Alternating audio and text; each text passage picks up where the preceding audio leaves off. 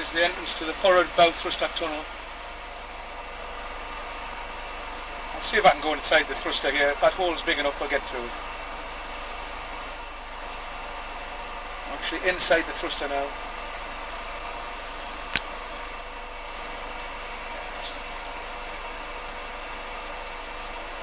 Looks like a four-bladed thruster, variable pitch.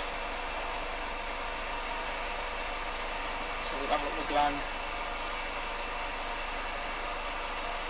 No signs of any oil leaking. We'll find our way back out.